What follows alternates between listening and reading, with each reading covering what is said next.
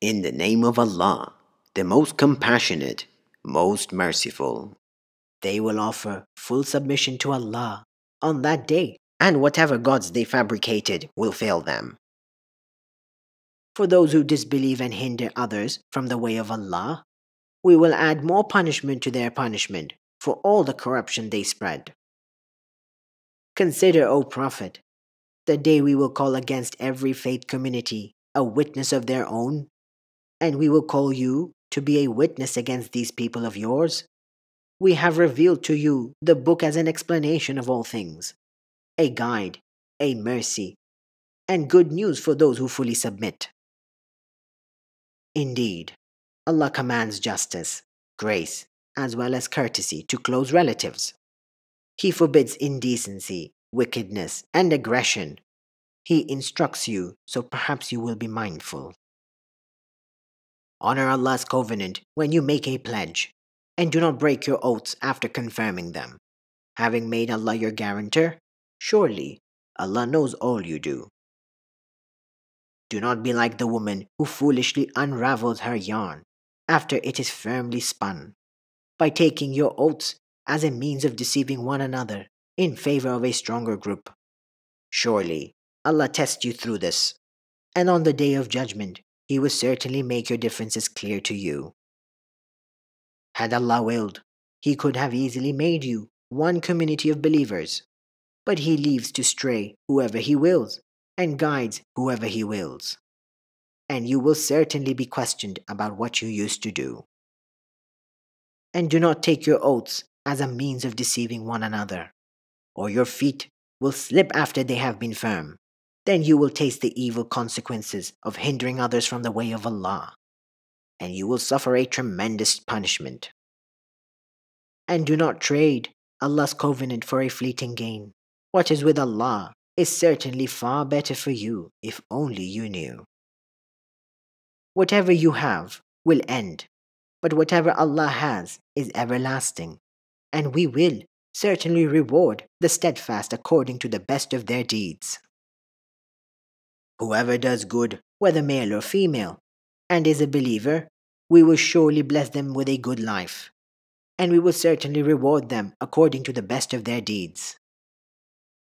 When you recite the Quran, seek refuge with Allah from Satan, the accursed. He certainly has no authority over those who believe and put their trust in their Lord. His authority is only over those who take him as a patron and who, under his influence, associate others with Allah in worship.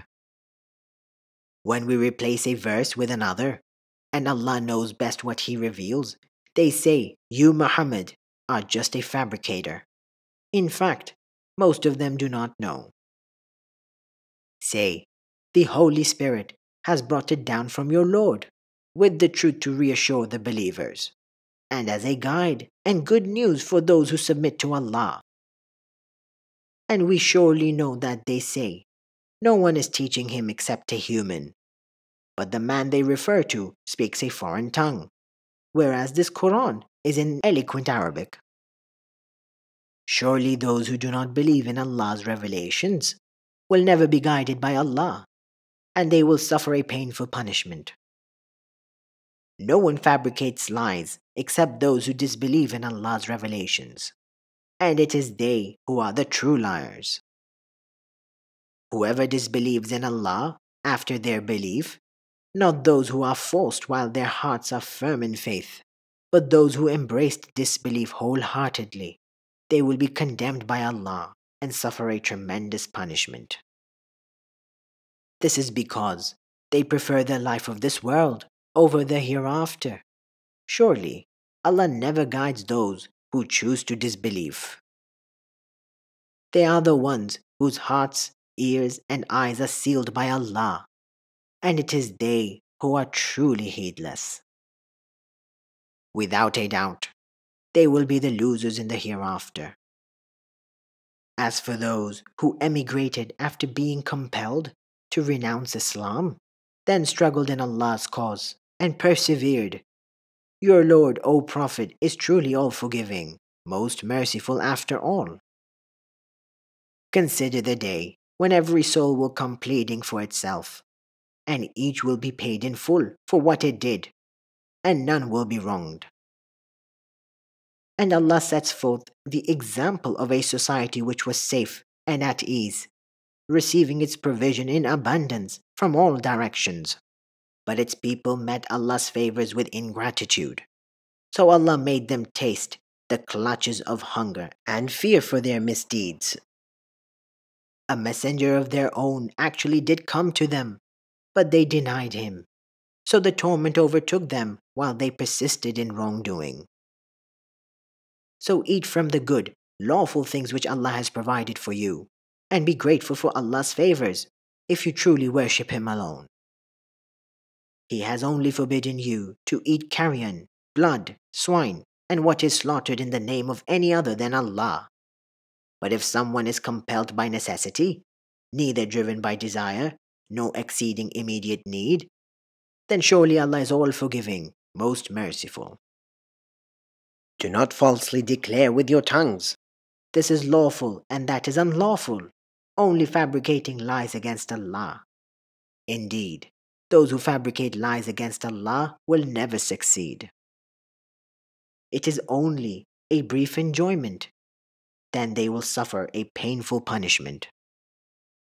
To the Jews, we have forbidden what we related to you before. We did not wrong them, but it was they who wronged themselves.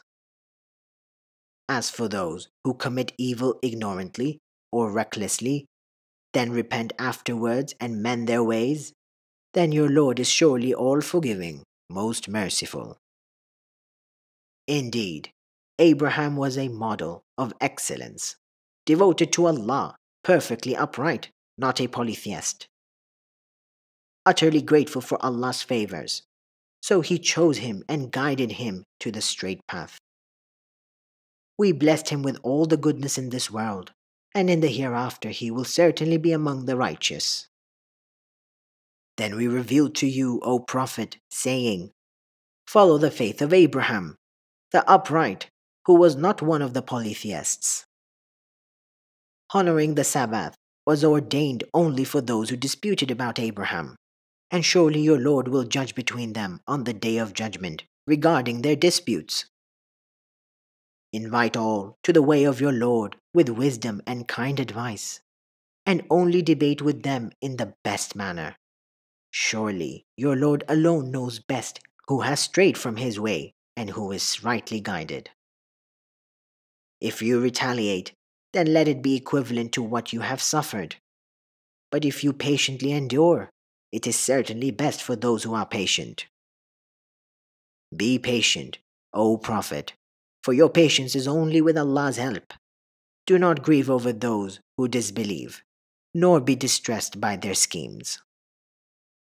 Surely Allah is with those who shun evil and who do good deeds.